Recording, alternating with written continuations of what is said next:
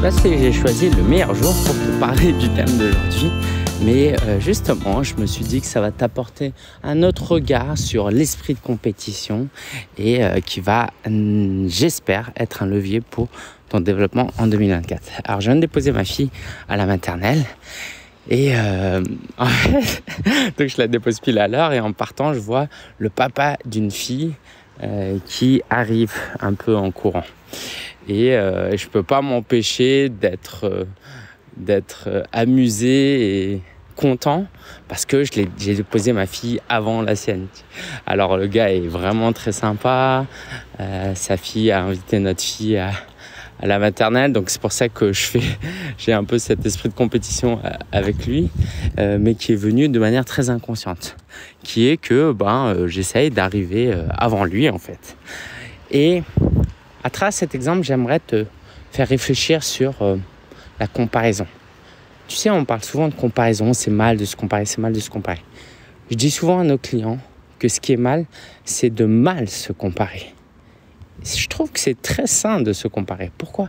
Parce que ça nous pousse à nous améliorer. Si toi et moi, on vivait sur une île déserte, on n'aurait certainement pas beaucoup d'ambition dans notre vie. Pas juste parce que sur une île déserte, c'est compliqué d'avoir des ambitions, mais parce qu'on a besoin d'être stimulé par les autres, par euh, leur accomplissement, par euh, leur euh, réussite. Alors, je connais pas les dates et le temps précis, mais tu connais peut-être l'histoire du, record du monde du 100 mètres qui a été franchi pour la première fois une année. Euh, en fait, les scientifiques pensaient qu'on ne pouvait pas courir un 100 mètres en moins de 10 secondes, c'était physiquement impossible.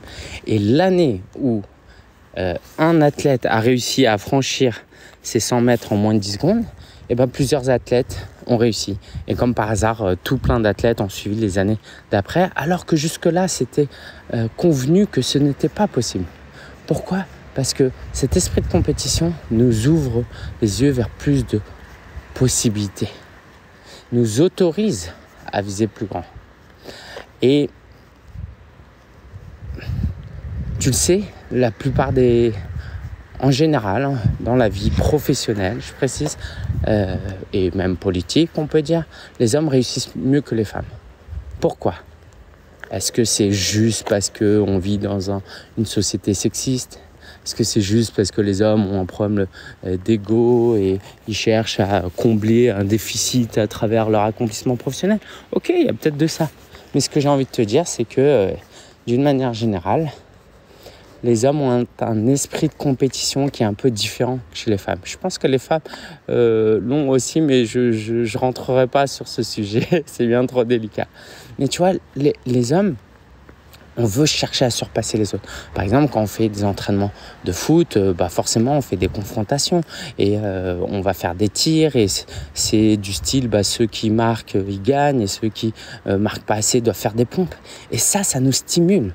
Et c'est pas parce qu'on est en compétition qu'on est dans un mauvais mindset, dans quelque chose de négatif en fait. C'est extrêmement positif.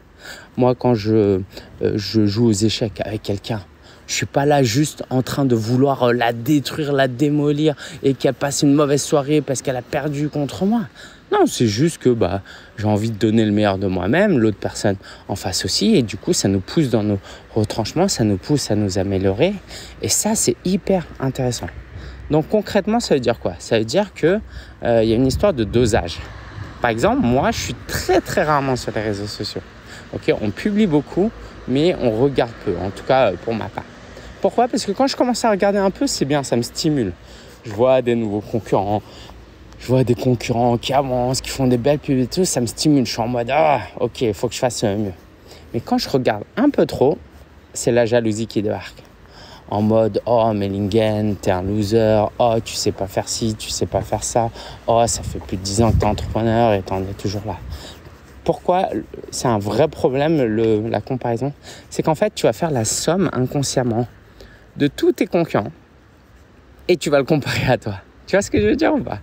C'est comme là, je suis euh, dans le parking de, euh, de chez moi et c'est comme si je faisais la somme de toutes les voitures. Je me disais, waouh, trop bien, toutes ces voitures. Oh, en cumulé, ça doit coûter un million.